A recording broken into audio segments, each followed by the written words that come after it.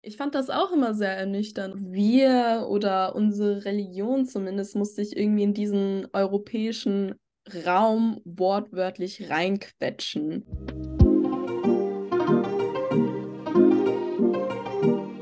Hallo und herzlich willkommen zu einer neuen Folge von Thais Bauer. Ich hasse die Technik manchmal. Es hat einfach eine halbe Stunde gebraucht, bis ich diese Aufnahme anfangen konnte. Aber jetzt hat es auf jeden Fall geklappt. Hier habe ich Joy als mein Gast. Wie geht's dir denn heute? Mir geht's super. Ich habe ausgeschlafen, war produktiv und bin bereit, heute ein bisschen zu quatschen. Hast du dann so eine Morgenroutine? Also so eine Routine, wo du sagst, so damit komme ich dann super durch den Tag. Ach, das sagt irgendwie gefühlt jeder heutzutage, aber ich, mir hilft Meditieren sehr, was vielleicht auch einfach daran liegt, dass ich ja buddhistisch aufgezogen wurde. Mhm. Wobei ich sagen muss, als Kind äh, habe ich nicht so den Wert in Meditieren gesehen. Für mich war das dann eher so eine Sache von fünf Minuten stillsitzen und nichts machen, finde ich irgendwie doof. Ich will rumrennen. ich würde sagen, mittlerweile habe ich doch schon erkannt, dass wenn man sich wirklich darauf einlässt, dass es doch schon hilft, mit einem klaren Kopf in den Tag zu starten. Ich wurde auch von meiner Mom dazu gezwungen, zu meditieren. Also sie ist da auch jemand, der eher so spirituell unterwegs dann auch war und hatte dann ge gedacht, ja, ich muss das für mein, für meinen Seelenheim meines Kindes ja mal was machen. Deswegen hat sie mich immer zu irgendwelchen Meditation Retreats mitgeschleppt wo man halt so zwei, zwei Stunden am Stück dann halt so meditieren musste. Oh, also zwei Stunden ist aber krass. Und ich fand das ja. als Kind auch schon richtig heftig, einfach so lange da rumzusitzen. Und dann habe ich ja währenddessen, wenn alle da meditiert haben, mir den Raum angeschaut, bin dann halt so rumgelaufen. aber deswegen verbinde ich mit Meditieren halt immer halt so, so einen Zwang, weil halt meine Mutter mich immer zu diesen Retreats hinge hingeschleppt ja. hat. Ja, ich meine, mhm. in den meisten Fällen ist es ja so, dass die Kinder sowieso ihre Eltern imitieren. Von daher finde ich es da eigentlich eher sinnvoller zu sagen, guck mal, wir Erwachsenen, wir machen jetzt alle das, mhm. stört uns dabei nicht, obviously, ja. aber einfach zu sagen, wir machen das, wenn ihr wollt, könnt ihr mitmachen. Und ich finde, da ist es schon eher wahrscheinlicher, dass die Kinder dann mitmachen, weil die halt sehen, oh, die Erwachsenen machen das. Bei ah, mir hat es ja anscheinend besser funktioniert als bei dir. ich bin gezwungen. Ja, hin und wieder meditiere ich dann auch, um einfach mal zur Ruhe zu kommen und da mal. Aber ich habe das immer wirklich so mit negativen Erfahrungen assoziiert. Also deswegen, ja. wenn ich da immer halt so Meditation Retreats mir höre, dann denke ich so, oh Gott, nein. da, da kommen so Traumata hoch. Heutzutage machen das Lisas und Maries, um sich von äh, Breakups zu erholen. Also, würden deinen Punkt gar nicht nachvollziehen können. Ist da echt so jemanden bei dir, der, der, der sowas macht? So nach so einem Breakup? So, jetzt gehe ich mal nach Bali, um da so eine Kirchenmitglied zu machen. Ich kenne jetzt in meinem persönlichen Umkreis tatsächlich nur eine Person, die so ein Spiritual Retreat gemacht hat, in Bali sogar. Wobei mhm. ich sagen muss, dass ich die Person nicht gut genug kenne, um einzuschätzen, okay, macht die das mhm. wirklich, mhm. weil sie irgendwie eine Trennung durchgemacht hat oder macht sie das, weil sie sich vielleicht doch äh, für Spiritualität grundsätzlich ähm, interessiert. Deswegen will ich da gar nicht so urteilen. Aber ich finde diesen Stereotypen schon lustig. Und ich finde, man trifft sehr häufig weiße Leute, vor allem wenn ich selber in Thailand bin, die mhm. dann auch tatsächlich so einen Trip machen. Ja, für mich ist es vielleicht auch einfach ein bisschen komisch, weil ich eben mit diesen spirituellen Praktiken und mit dieser Religion einfach groß geworden bin. Dementsprechend, ja, wenn Leute daran teilnehmen wollen, gut, warum nicht? Aber ich würde ja auch nicht nach einer Trennung sagen, yo, geh jetzt erstmal in die nächste Kirche in meinem Ort und lass mich baptizen. Hey, naja. Jesus, ey.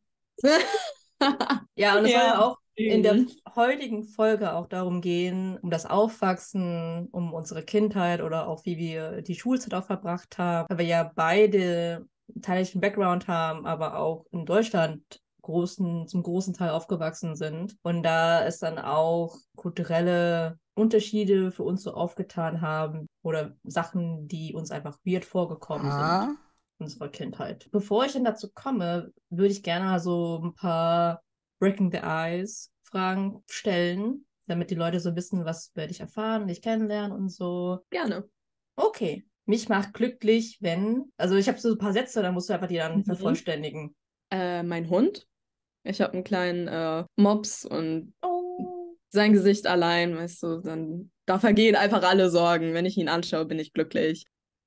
Meine Freunde machen mich zurzeit sehr glücklich. Also ich bin ein sehr extrovertierter Mensch, sprich, ich bin sehr auf die Energie von anderen Menschen angewiesen, sag ich mal. Ich sehe in allen meinen Freunden so eine sowas Inspirierendes. Könnte zu jeder Person wahrscheinlich einen Liebesbrief schreiben, eigentlich, mhm. der happy macht. Als drittes würde ich sagen, mache ich mich vor allem mich selber glücklich, indem ich Zeit für mich selber nehme, einfach Sachen für mich tue, die mir auch gut tun. Mhm. Ich habe zum Beispiel mir gestern ein Kleidungsstück geholt, was ich eigentlich schon mega lange wollte. Aber ich habe mir dann immer gedacht, so nein, 50 Euro für das muss doch nicht sein. Ich saß gestern drei Stunden in der Bibliothek. Ich habe mir durchaus diesen 50-Euro-Rock verdient. Und jetzt mhm. habe ich den. Jetzt bin ich ganz glücklich. Jetzt bist du auf jeden Fall schick unterwegs. Ja. Leute unterstellen mir das. Dass ich zu hitzköpfig sei, was durchaus ein Punkt sein könnte. Ich habe mein Temperament und ich würde auch sagen, dass es vielleicht in manchen Situationen ein bisschen überkocht. Aber ich weiß, dass es ein Problem ist manchmal und ich versuche es in letzter Zeit auch viel mehr zu kontrollieren. Was mir auch unterstellt wird, ist, dass ich zu stur bin. Da würde ich tatsächlich auch zustimmen. Wenn ich was will, dann tue ich alles, um das zu bekommen. Ich finde, man kann alles erreichen, solange man einfach die Arbeit hineinsteckt. Also würdest mir du sagen, dass du so ambitioniert bist? Oh ja, sehr. Ich lebe von äh, Ambition, ich lebe von äh, meiner Leidenschaft für Dinge, sei es Tanz, Kultur, mhm. andere Interessen, Gaming. Entweder bin ich da zu 100% dabei oder überhaupt nicht. Ohne mh, hm, kann ich nicht leben. Tanzen. Und was tanzt du denn so? Seit ich 14 bin, mache ich Hip-Hop, wobei ich mich auch zwischendurch in anderen Stilen auf jeden Fall so ein bisschen ausgetobt habe. Also ich habe auch äh, Contemporary ausprobiert, Popping, was ich bis heute noch mache. Ansonsten muss ich sagen, fühle ich mich zurzeit sogar sehr im Female Hip-Hop eher wohl. Ich habe das Gefühl, da kann ich mich eher ausdrücken und ich würde sagen, dass das so mittlerweile mein Bereich ist oder mein Stil, mit dem ich mich am meisten identifizieren kann. Was ist denn der Unterschied zwischen Female Hip-Hop Dancing und Hip-Hop Dancing? Wie erkläre ich das am besten? Also, Leute verbinden mit Female Hip-Hop immer direkt sexy, Heels, leicht bekleidet und sowas. Und das ist mhm. ein Aspekt auf jeden Fall. Es geht ja darum, einfach seine eigene Femininität oder Weiblichkeit auszudrücken, je nachdem, wie man das aufnimmt. Und sich einfach in seinem eigenen Körper wohlzufühlen. Sprich, die Bewegungen sind sehr körperbetont, sehr langgezogen. Es geht sehr viel um ähm, Posen vor mhm. allem. Und Hip-Hop, was das angeht, hat halt einfach viel mehr Techniken und viel mehr Subgenres. Mhm. Female theoretisch ist auch einfach nur ein Subgenre von Hip-Hop. Es gibt sehr viele Female Hip-Hop-Choreografen, die sind zwar sehr Hip-Hop-lastig unterwegs und bauen vielleicht mhm. ein paar Hip-Hop-Basics in ihre Choreos mit ein. Dann wiederum gibt es Female-Choreografen, die sind eher in Richtung Contemporary, Ballett unterwegs zum mhm. Beispiel. Female ist für mich so eine Subkultur aus Hip-Hop, Contemporary, vielleicht ein bisschen Ballett oder auch Jazz, mhm. um sich selber im eigenen Körper wohlzufühlen und sich auszudrücken. Ich muss immer an diese Tanzfilme von früher denken. wo also eine weiße Person eher so Ballett und klassischen Tanz gemacht hat. Und dann lernt sie einfach so einen schwarzen Dude kennen, der dann halt Hip-Hop tanzt und sieht das ist irgendwie voll cool. Ich weiß genau, was du meinst. Ja, ja und gerade an dieser Art von Tanzfilmen, wo die dann auch am Ende versuchen, diese beiden Stile, Ballett und Hip-Hop, dann zusammenzumixen. Wo ich viel mehr den Wert erkenne, ist tatsächlich die Geschichte hinter Tanz. Wie kamen die Namen von gewissen Basic-Schritten äh, zur Welt? Wie wurden Hip-Hop-Schritte vielleicht genutzt, um damals vor allem unter afroamerikanischen Menschen in den USA zu kommunizieren? Tanz mhm. ist ja eine Sprache und ich verstehe ehrlich gesagt nicht ganz, warum viele klassische Popkultur-Tanzfilme nicht eher in die Richtung gehen. Ich fände das viel interessanter als Bella aus Suburban New York lernt MJ Jackson oder so kennen und äh, ihre gesamte Welt stellt sich jetzt auf den Kopf, weil schwarze Menschen tanzen Hip-Hop und das ist für sie eine. Ja, ich habe dann auch früher Judo oder auch so japanische Kampfsportarten gemacht und vieles, mhm. was ein Kampfsport ist, hat ja auch so Bezüge zu tanzen. Also gerade was so die Schritte angeht. Und ich bin ja eigentlich auch jemand, der ziemlich untalentiert ist, was das Tanzen angeht.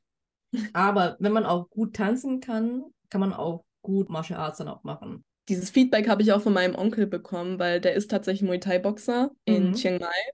Und als ich ihn damals besucht habe in seiner kleinen, er hat so eine Art Camp und da durfte ich mich ein bisschen mit ihm so ausprobieren und da hat er mich schon gefragt, machst du irgendwas in Richtung Tanz oder so? Ich so, ja, tatsächlich. Also Mhm. das merkt man. Alleine daran, wie hoch du dein Bein bekommst, merkt man das. Mhm. Ja, es ist auch mega cool. Heimat ist für mich, Was vielleicht auch ganz obvious ist und auch zur Episode passt, ist Thailand für mich auch einfach Heimat, weil ich mich ja la- jahrelang eigentlich von meiner Kultur distanziert habe und Mhm. einfach wieder diesen Weg zurück in diese Kultur zu finden, ist für mich so ein Gefühl von, ich komme wieder nach Hause und deswegen würde ich auch Thailand eigentlich so ein bisschen als meine kulturelle und ein bisschen auch mentale Heimat vielleicht zeichnen. in Thailand habe ich nie. Nie einen Hund weggescheucht. Wow, Wenn Straßenhunde zu mir kommen und meine Verwandten sagen, streichel die nicht, die sind dreckig, das ist Mhm. mir egal. Ich streichel den trotzdem. Und er bekommt auch was zu essen, wenn ich was da habe. Oh. In Deutschland habe ich nie. In Deutschland habe ich nie das Gefühl, authentisches thailändisches Essen zu finden. Es gibt Restaurants, von denen ich sage, die sind gut. Aber nur weil sie gut sind, heißt es nicht automatisch, dass es authentisch ist. Wie definierst du denn gut? Also im Sinne davon, dass es dann einfach nur schmeckt? Tatsächlich geht es für mich dann eher nach dem Geschmack und auch vielleicht ein bisschen zu gucken, was für Zutaten verwendet werden. Wenn ich dann zum Beispiel Kapau bestelle und da ist irgendwie Paprika drin, dann denke ich mir halt so, was ist das? Nein. Danke. Oder Koriander statt äh, thailändisches Basilikum. So. Das sollte Mhm. illegal sein. Aber das ist auch wirklich auch schwierig, dann finde ich, dann auch so gut es geht, authentisch zu kochen. Also klar, man kriegt auch viele Zutaten, auch in Deutschland. Ja, das stimmt. Aber halt auch so, ich sag, die spezifischen Sachen, die überall in Thailand halt so wie Kraut und Rüben rumwachsen. Also wie dieses äh, Mhm. Holy Basil zum Beispiel. Ja, genau. Mhm. Und dieses äh, Thai-Basilikum, das kannst du nicht überall finden, je nachdem, wo du dann auch wohnst. Und dann sind die auch noch mega teuer, finde ich. Also da muss ich auch natürlich ähm, berücksichtigen, dass die Gastronomen hier in der Hinsicht ein bisschen eingeschränkt sind. Nichtsdestotrotz ist es für meinen Gaumen doch sehr gewöhnungsbedürftig dann. Wo bist du denn genau geboren worden? Ich bin in Hanau geboren, in Hessen, bin da aber nicht sehr lange geblieben, weil ich kurz darauf dann nach Würzburg gezogen bin. Und wie kannst du denn so Würzburg beschreiben? Würzburg zu der Zeit, wo ich da aufgewachsen bin, sprich 2003 bis 2015 ungefähr, war für mich immer eine sehr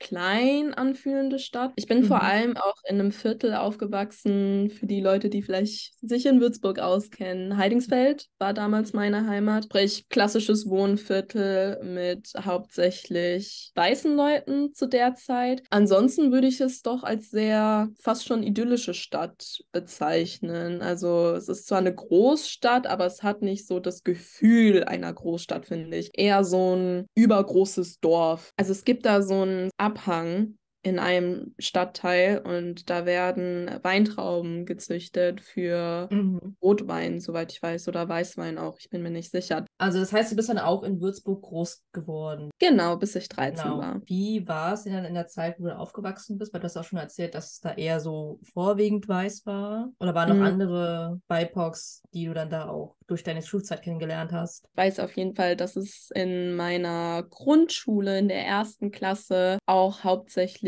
doch nur weiße Mitschüler gab. Ja, was mir am Anfang zwar schon schnell bewusst war, aber ich habe da nicht so schnell eine Connection dazu ziehen können. Ich habe Mhm. mir halt einfach gedacht, oh, ja, wie in der Nachbarschaft halt. Ich bin das einzige asiatische Kind. Ich hatte allerdings einen Mitschüler, der kam aus Tunesien. Mir ist im Nachhinein aufgefallen, dass ich sehr oft bei Partnerarbeiten mit ihm zusammengeworfen wurde. Echt? Oder ja, oder auch wenn man zum Beispiel Ausflüge gemacht hat, äh, hat man immer gesagt, Joanna, du gehst bitte mit, ich weiß seinen Namen nicht mehr, mit ihm mit. Und dann ist man ja immer in so Zweierpärchen hinter dem Lehrer hinterhergegangen. Mhm. Und irgendwie waren wir dann immer die zwei, ja, die zwei POC-Kinder, die dann Oh zusammengelaufen Gott. Oder in- ja, die einzigen ausländischen Kinder in der Klasse. Kann man ja direkt zusammenwerfen. Warum nicht? Keine Ahnung, was das Motiv dahinter war. Und du bist ja vorwiegend bei deiner Mutter ja groß geworden. Genau, beziehungsweise mhm. in Würzburg bin ich dann bei meinen Großeltern aufgewachsen. Meine Mutter zu der Zeit war in Frankfurt öfters und hat dort gearbeitet, ist dann aber regelmäßig an Wochenenden dann nach Würzburg gekommen. Was hat sie denn genau gearbeitet? Gastronomin in einem Hotel. Und wie war dein Verhältnis zu deinen Großeltern?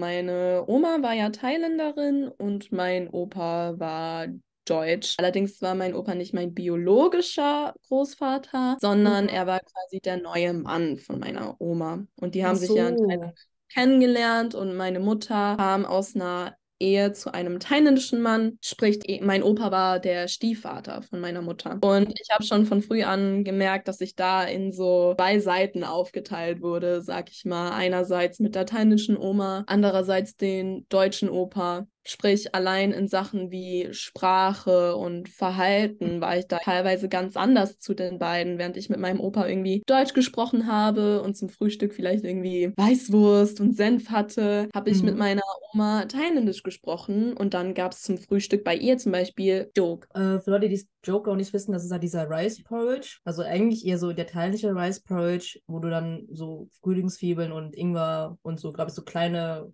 Fleischbällchen auch so mit drin hast und ja. Ei.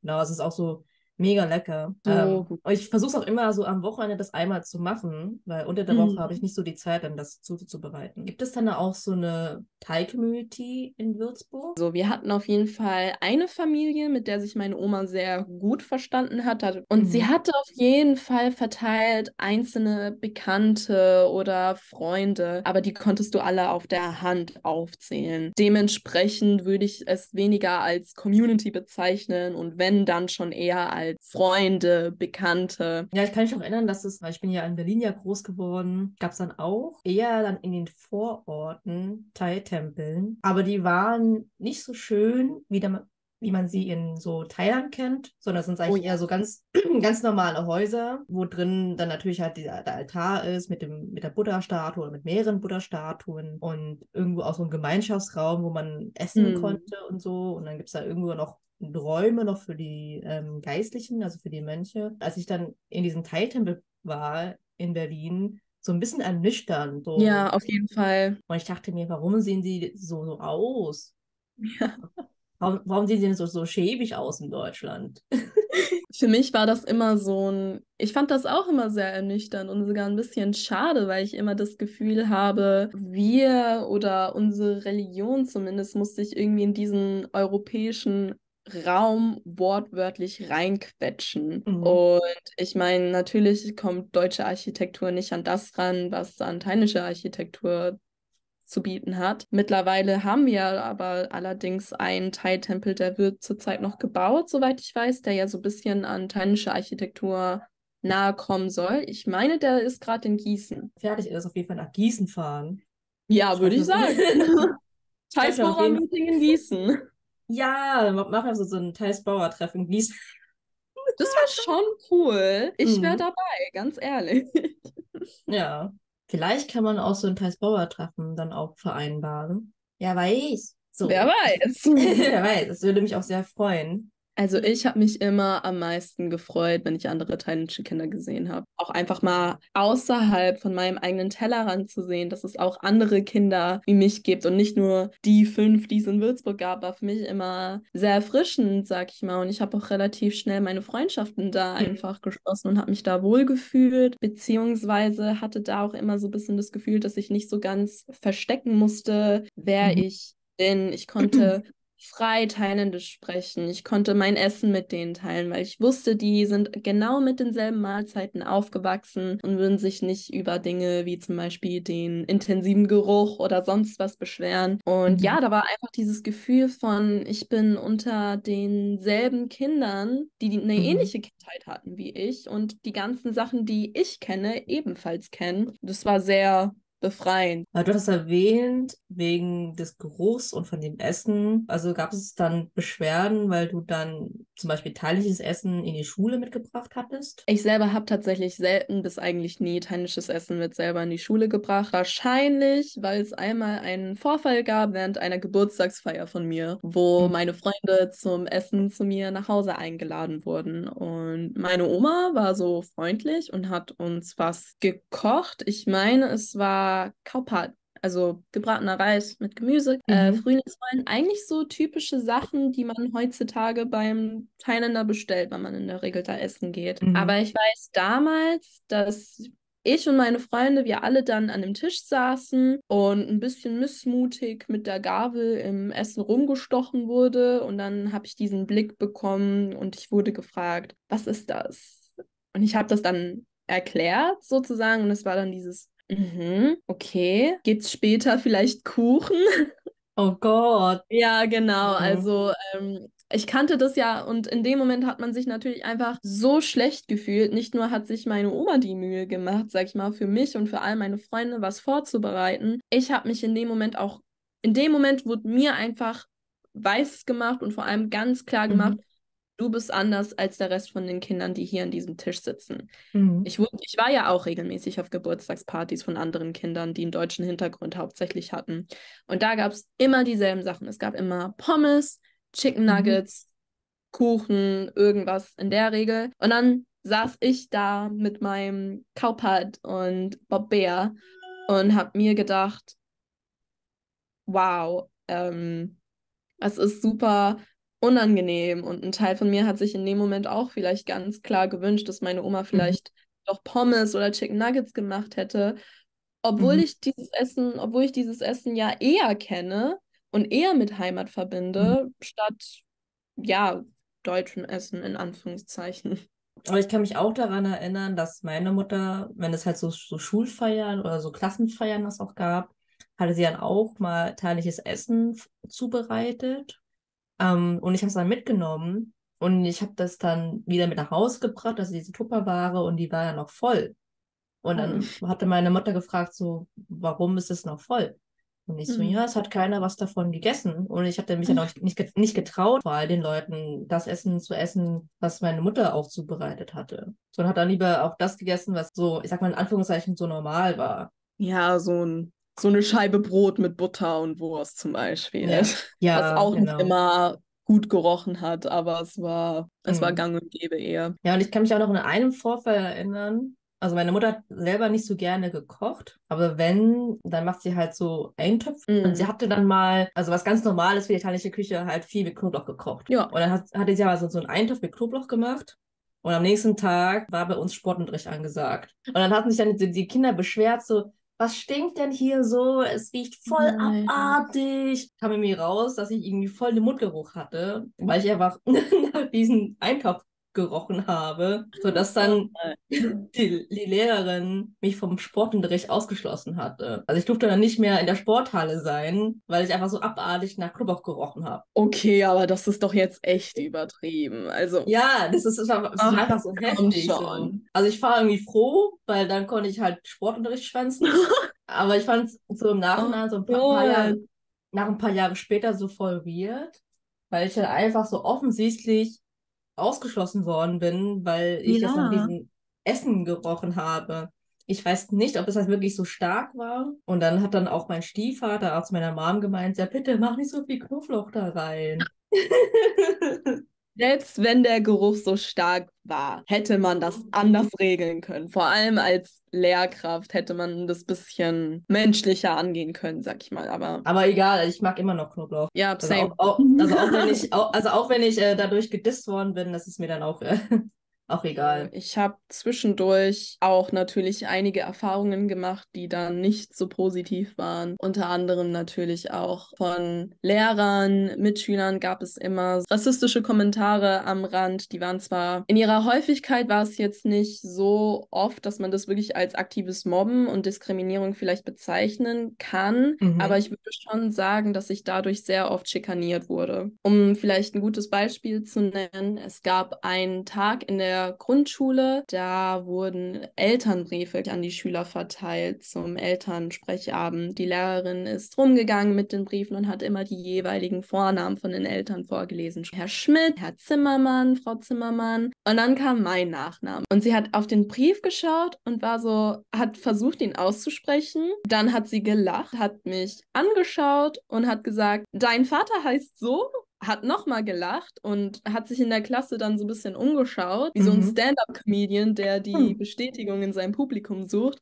Und dann mhm. hat auch die gesamte Klasse mitgelacht. Und ich saß da mit meinen sechs, sieben Jahren, habe nicht wirklich verstanden, was abgeht, weil für mich war das einfach nur der Name von meinem Vater. Und dann habe ich aus Reflex einfach mitgelacht, aber ich weiß, dass ich in dem Moment so verwirrt war und überhaupt nicht verstanden habe, warum da jetzt überhaupt gelacht wird. Danach ging es eigentlich nur noch weiter mit irgendwelchen Aussagen wie, du kommst doch aus China, Nein, eigentlich nicht. Ich bin Thailänderin. Ja, das ist doch alles dasselbe. Sag mal was auf Chinesisch. So passiv-aggressive mhm. Kommentare. Natürlich war auch Sprache immer so ein Ding. Meine Oma habe ich zu dem Zeitpunkt als Kind immer als Yai bezeichnet, was auch thailändische Oma heißt. Dann auch irgendwann zu mir gekommen und hat gesagt, hey, ich würde mhm. dich aber bitten, dass wenn wir irgendwie in der Stadt sind oder beim Einkaufen, dass du statt Yai ganz normal Oma sagst. Mhm. Ich war mhm. verwirrt und habe es nicht verstanden und sie war so, die Leute gucken immer, wenn du Yai rufst. Die sind dann verwirrt mhm. und drehen sich um und gucken uns irgendwie an und ich will das nicht. Und ich mhm. habe gesagt, ja, aber du bist ja meine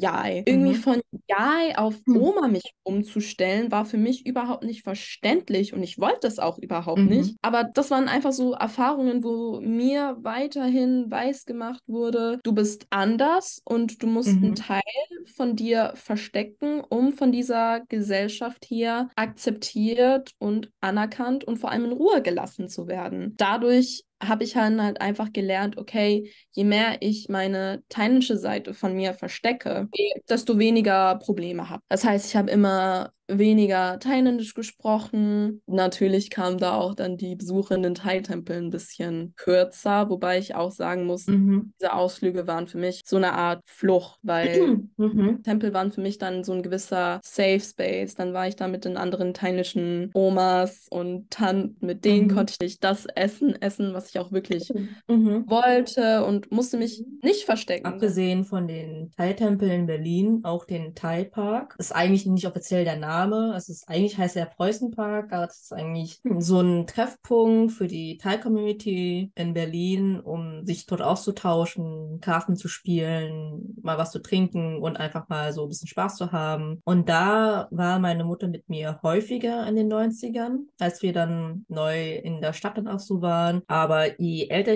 ich, geworden bin, ich erinnere mich auch daran, dass wir dann noch viel weniger dahin gegangen sind. Also ich weiß auch nicht genau die Gründe dafür, aber ich fand es auch so ein bisschen schade, dass wir dann mehr so oft hingegangen sind. Und ich habe auch so den Vorfall doch so ein bisschen, also nicht gerade geschämt habe für meinen Namen, aber ich fand meinen Namen so ein bisschen lästig. Also ich habe also wirklich sehr, sehr lang, typisch für Thais, so langen Nachnamen. Ja. Als ganze Alphabet ist da drin. Und dann muss ich dann jedes Mal dann mein Namen perfide buchstabieren, damit die Leute das checken, was es eigentlich heißt. Und die denken immer, ja, es ist bestimmt eine besondere Bedeutung da drin, wie man das oh. richtig ausspricht und so. Und ich so, mhm. eigentlich nicht, es ist einfach ein ganz normaler Nachname. Also manche Namen haben ja auch eine Bedeutung. Und dann konnten viele auch meinen Vornamen auch nicht wirklich gut aussprechen. Also ich heiße ja eigentlich Ha? Und ich fand es einfach auch so lästig, immer den Leuten zu erklären, wie ich dann richtig ausgesprochen werde, bis ich dann zu dem Schluss kann, mich einfach nur noch Paco zu nennen, was aber für die Leute einfacher ist, das auszusprechen und ich habe nicht den Hassel, das immer wieder zu erklären. Ja, ich denke, viele Leute tun sich aber grundsätzlich mit Vornamen schwer. Ich zum Beispiel habe ja keinen thailändischen Vornamen, mein, also Joy ist mein Rufname, aber mein voller Name ist eigentlich ah. Und allein da tun sich Leute schwer, statt da einfach mal irgendwie im Vorhinein zu fragen, wie spricht man deinen Namen richtig aus? Hast du denn auch so einen thailändischen Spitznamen? Also auf Thai heißt es Shilen, weil ja die Namen ja so lang sind, deswegen hat man ja auch voll oft in Thailand auch so Spitznamen oder so große Namen. Ich würde sagen, mein gängigster Chilen ist auf jeden Fall Ohren, was, glaube ich, viele thailändische Kids ähm, nachvollziehen können. Für die, die es nicht wissen, Ohren bedeutet, wenn man es ganz trocken übersetzt, fett aber es ist erstmal schlimm, aber das ist mhm. wirklich ein Kosename. Thailändische mm. Kids. Es ist lieb gemeint, eher so Dickerchen. Ich finde es immer auch so cool mit diesen ganzen Spitznamen, weil es viel, viel einfacher ist, sich das auch zu merken. Und mhm. ich auch von vielen Thais ja auch nicht so wirklich den ganzen Namen kenne, sondern eher nur die Spitznamen. Und das ja. ist auch vorhin erwähnt, dass deine Mom auch eher in Frankfurt unterwegs war. Und ich kann mich auch erinnern, dass meine Mutter auch viel unterwegs war und ich bei Thai-Muttis da war. Und da war es irgendwie auch schon so, dass ich dann da auch ein paar Wochen auch bei denen war. Und ich habe nie ganz genau verstanden, warum meine Mutter nicht da ist zu Hause. Da hat sie gesagt, dass sie arbeiten geht, aber als Kind hat man nicht so eine Assoziation was Arbeit bedeutet. Ja. Und ich fand es immer halt so lästig, bei diesen mir fremden Thai-Omis Zeit zu verbringen. Wie war es denn für dich? Tatsächlich habe ich ungefähr so eine ähnliche Erfahrung gemacht. Dadurch, dass mein Großvater Ingenieur war, hatte er sehr viel Geschäftsreisen und meine Oma, wie gesagt, sehr spirituelle Frau, hat sich auch mhm. mal ab und zu dazu beschlossen, fürs Wochenende in den Tempel zu fahren. Wenn ich dann gesagt habe, dass ich weniger Lust drauf habe, dann hat sie mich auch so ein bisschen bei ihren Freundinnen abgelagert, was für mich am Anfang so ein bisschen aufregend war, sag ich mal. Ich habe doch dann auch das Gefühl gehabt, du kennst zwar die Omis oder Tanten so ein bisschen, aber am Ende des Tages mhm. sind halt nicht deine biologische Familie. Ja, deswegen finde ich es so interessant, dass wir eigentlich eins zu eins dieselbe Erfahrung gemacht haben. Ist das so ein universelles thailändische Oma-Mama-Ding. Ich bin mir nicht sicher, wie es bei anderen Kulturkreisen ist, aber das ist auch häufig so, wenn man auch neu in einem Land ist und migrantisch ist, dass man generell sich dann einfach in die Arbeit hineinsteigert, um natürlich dann auch für sich und seine Familie mhm. gut versorgen zu können. Und das hat meine Mutter dann auch gesagt, weil sie wollte dann eher arbeiten oder Geld sparen so damit sie dann später dann nicht so den Hassel hat. Erinnern, dass ich einfach die ersten Jahre einfach nicht bei meiner Mutter auch war. Also ich habe sie ja mhm. nur so ein paar Mal dann gesehen und wenn ich sie gesehen habe, dann war sie recht müde und erschöpft und ich wollte natürlich dann auch spielen und Zeit mit ihr verbringen und sie so, nee, lass mal. Und dann ist sie einfach eingeschlafen. Aber ich habe es irgendwie als Kind das nie so wirklich ganz begriffen, so warum sie da halt so lange weg war und warum ich dann bei diesen Thai-Omis dann auch war. Also klar, damit halt niemand auf mich aufpasst, aber das war seltsam für mich. Vor allem die Kontrast zu sehen zu anderen Familien, wo mindestens ein Elternteil bei der Kindern ist mhm. und die einfach so viel Zeit mit den Eltern ver verbringen konnten und auch so Ausflüge machen konnten. Und das hatte ich halt in meiner Kindheit auch nicht. Tatsächlich kenne ich äh, so ein bisschen dieses Bild von der erschöpften Mutter, die dann bei einem zu Hause ist und man ist total aus dem Häuschen und freut sich, sie mhm. zu sehen. Hey, Luke, Mungnon, so weißt du. meine Mutter ist da mit sechs Jahren bereits hier in Deutschland gewesen. Ich denke, es ist schon eine Herausforderung, sag ich mal, für so ein junges Mädchen, mit sechs in ein fremdes Land zu kommen, wo du nicht die Sprache wirklich beherrschst und die ganz schnell irgendwie auf Druck lernen musst. Sie war bereits mit 16, 18 war sie schon im, im Arbeitsleben drin. Seitdem arbeitet sie eigentlich bis heute. Und im Nachhinein muss ich sagen, habe ich so viel Respekt für sie. Und ich glaube, jetzt kann ich auch verstehen, warum sie drauf gepocht hat, dass ich nicht beim Realschulabschluss bleibe, sondern auch mm. wirklich mein Abitur mache, mm. studiere, damit ich später einfach nicht in denselben Verhältnissen arbeiten muss wie sie. Also ich glaube, das ist auch der Wunsch von vielen Migranteneltern, dass sie einfach sich wünschen, dass ihre Kinder nicht so ein hartes Leben haben, wie sie selbst hatten. Genau. Also meine, meine Mutter kam auch erst mit Mitte 20 oder so Ende 20 nach Deutschland, also als erwachsene Person. Und das ist ja noch ein größerer Umstand, weil du ja auch schon in Thailand so aufgewachsen, groß geworden bist und dich da sozialisiert hast und nun musst du dann einfach ein komplett anderes Land gehen, was auch sehr konträr zur thailändischen Kultur auch ist. Oh ja. Und sich da, sich da zurecht dann zu finden. Aber sie war einfach der Meinung, dass Deutschland einfach die bessere Wahl sei, gerade was Arbeitsbedingungen angeht und Verdienste und diese ganzen Versicherungen und so. Wobei natürlich auch viele dann im Nachhinein oder im Vorhinein oft nicht damit mhm. rechnen, dass es in Deutschland genauso hart sein kann. Mhm. Aber ich glaube, viele Eltern zahlen einfach den Preis mit dem Gewissen, wenigstens hat mein Kind hier eine bessere Chance. Ja, und ich finde es aber auch so krass, also wie Thais Deutschland so mit Reichtum und assoziieren. Aber das ist eigentlich so gar nicht der Fall, finde ich. Nee, nicht, nicht so, wie es dort dargestellt wird, auf jeden Fall. Also ich, ich bin ja sowieso die erste Akademikerin in meiner Familie, aber meine mhm. Familie in Thailand hat ja auch zum Beispiel irgendwie das, die Vorstellung, dass ich an einer Exzellenzuni studiere. Ich glaube, es kommt davon, dass halt alle Universitäten in Thailand ja privat sind. Mhm. Und Bildung, auf jeden Fall ein Klassending ist immer noch in Thailand. Im Regelfall gehen halt die Reichen studieren. Vielleicht wird deswegen mein Studierendenstatus in Thailand ein bisschen als mit reich sein und guter Bildung assoziiert. Aber ich glaube, es wird doch oft unterschätzt. Also meine beiden Eltern haben studiert. Also ich bin jetzt nicht die Einzige, die jetzt akademisch jetzt unterwegs war.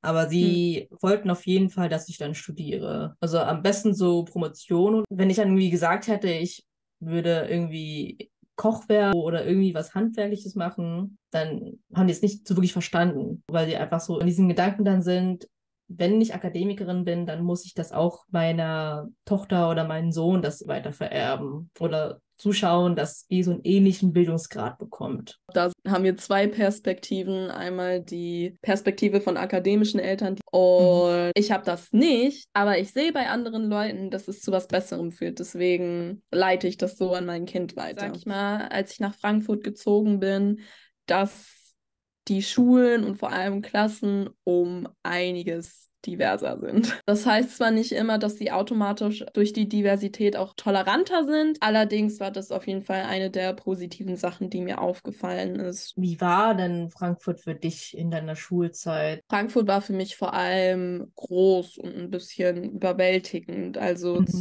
der Grund, warum ich Würzburg überhaupt als idyllisch bezeichne, ist, weil Frankfurt ja wirklich dieses metropolische Stadtfeeling tatsächlich auch hat. Allerdings habe ich das auch als Chance gesehen, neu anzufangen, einfach mal und vielleicht auch mhm. eher so ein bisschen zu meiner Kultur zu stehen. Ich sehe ja auch, dass es andere Menschen in meinem Umfeld gibt, die ganz offen sagen, aus welchem Land sie kommen und ihre Kultur eben nicht verstecken und auch miteinander mhm. die Sprache sprechen, die sie tatsächlich auch können. Und da habe ich mir gedacht, hey, warum sollte ich nicht dasselbe machen? Und hattest du dann in Frankfurt die Möglichkeit, mehr oder beziehungsweise Kontakt aufzubauen zu Thais, Thai-Deutschen? Das fiel mir tatsächlich sehr schwierig. Meine Mutter hatte hier eher nicht thailändische Freundinnen. Sie hatte eins, zwei auf jeden Fall, ein paar, die man auch wieder auf der Hand aufzählen konnte. Mhm. Aber grundsätzlich muss ich sagen, hatte ich dann wiederum weniger thailändische Freunde selber in meinem Umkreis. Ja, in Würzburg hatte ich zwar so ein paar thailändische Freunde, in Frankfurt waren es dann aber auf jeden Fall irgendwie auf einmal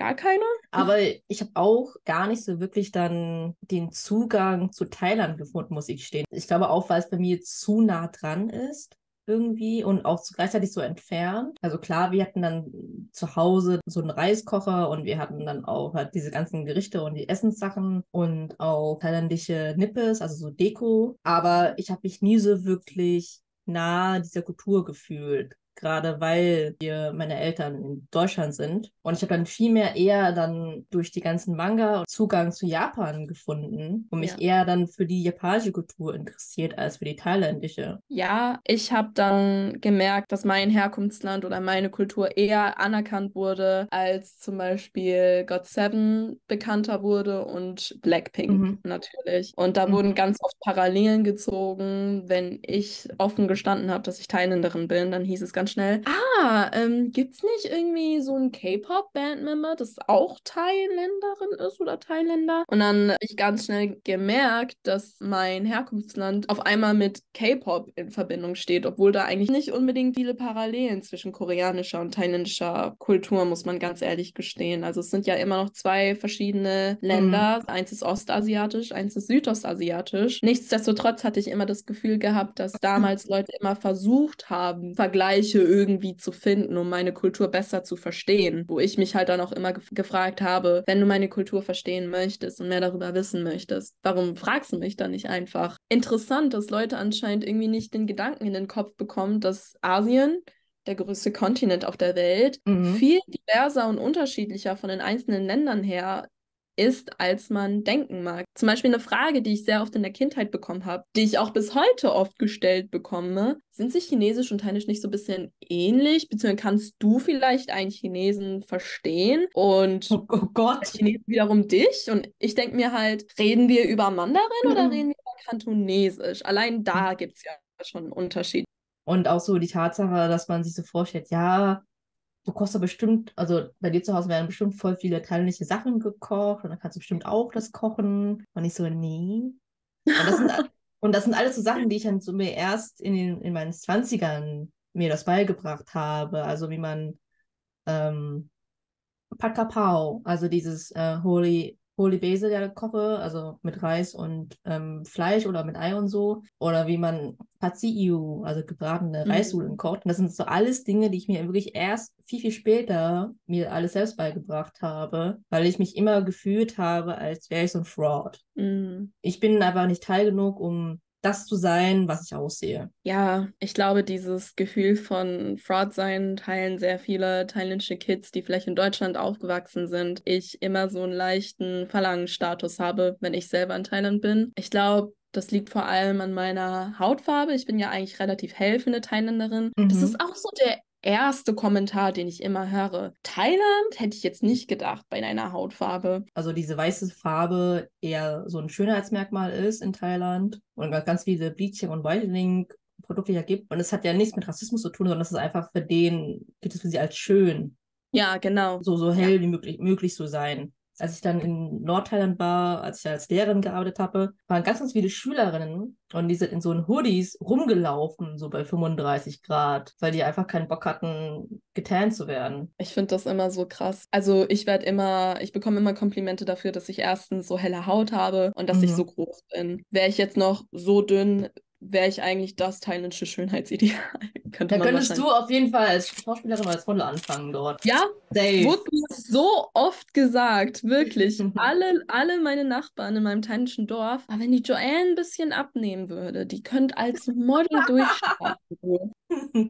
Ja, danke. Mit dem Abnehmen kenne kenn ich es auch sehr gut. Also ich bin ja auch eher, eher, also ich bin nicht fett, aber ich bin auch nicht super dünn, sondern eher so kurvig. Aber meine Eltern finden das irgendwie als fett an, weil sie beide auch sehr dünn sind. Und jedes Mal, bevor sie überhaupt Hallo sagen zu mir, sagen sie dann so, nimm mal fünf Kilo ab, nimm mal zehn Kilo ab. Und ich so, das ja, nimm, und ich so, ja, nimmt mal lieber fünf Kilo zu, weil man sieht ja bei euch ja das ganze Gerippe da. Das hat denselben Vibe wie, ey, Ohren. So mit all den Erfahrungen, die du jetzt so gemacht hast und auch den diskriminierenden Vorfällen, auch in deiner Schulzeit, aber dann auch, dass du dich dann wieder zugewandt hast zu deiner thailändischen Kultur. Wie würdest du denn jetzt deine Identität heute sehen? Ich würde sagen, ich bin auf jeden Fall dort angekommen, in dem Sinne, dass ich einfach jetzt anerkenne, dass ich Thailänderin bin, dass das meine Kultur ist und dass es überhaupt nichts ist, wofür ich mich schämen sollte. Ich kann Thailändisch sprechen, wo ich will, wann mhm. ich will ich kann mein Essen dort essen, wo ich möchte. Und da kann es mir auch scheißegal sein, ob Leute sagen, das riecht intensiv oder nicht. Ich bin selbstbewusst, ich stehe hinter dem, wer ich bin und ich verstecke mich auch nicht länger. Mhm.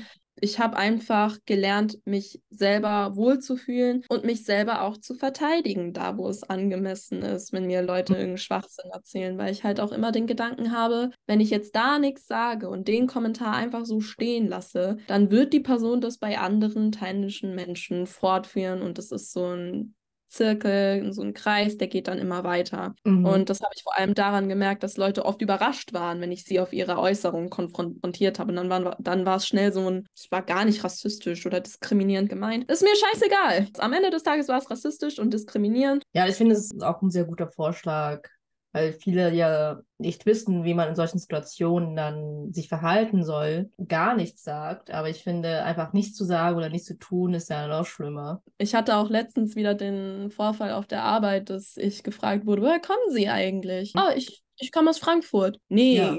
ursprünglich. Ich so, also davor habe ich in Würzburg gewohnt tatsächlich. Mhm. Und ihre Eltern ja, meine Mutter ist, seitdem sie sechs ist, in Deutschland, aber davor war sie in Thailand. Weißt du, einfach so ein bisschen am Strang ziehen mal oder wenn jemand rassistische Witze macht mhm. und obviously damit provozieren möchte, mhm. einfach fragend angucken und sagen, ha? check ich nicht. Warum ist das witzig? So, ja, du weißt doch. Und dann geben die dir eine dumme Erklärung und müssen das, was sie gesagt haben, wiederholen. Und dadurch geht halt einfach der, der Humor so ein bisschen verloren. Weißt du, einfach so ganz strategisch die Leute für das outcallen, was sie sagen. Ich kann vielleicht deine Meinung nicht ändern zu meiner Kultur, aber mhm. ich kann dir die Konsequenzen präsentieren, die du mit deinen Aussagen, also mit denen du dich dann konfrontieren musst.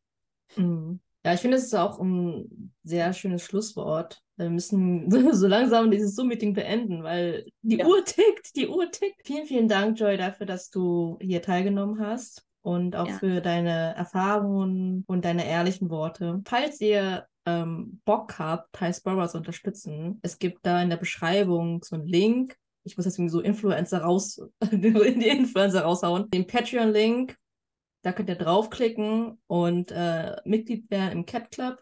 Dann kriegt ihr dann halt so Teaser-Infos vorab zu den ganzen Folgen davor. Und es gibt auch einen Buy Me Coffee-Link. Das ist eigentlich so das ähnliche Prinzip wie bei Patreon-Link. Aber ihr könnt eins von euch beiden entscheiden oder beides. Ähm, ist mir, also finde ich auch sehr schön. Vielen Dank fürs Reinhören und dass ihr bis dahin geblieben seid. Und ich wünsche euch noch einen schönen Tag und wir hören uns bald. Und vielen, vielen Dank, Joy, nochmal. Vielen Dank für die Einladung. Ja, bis dann. Kopfkundacher. Popcorn Marker. Ah ja.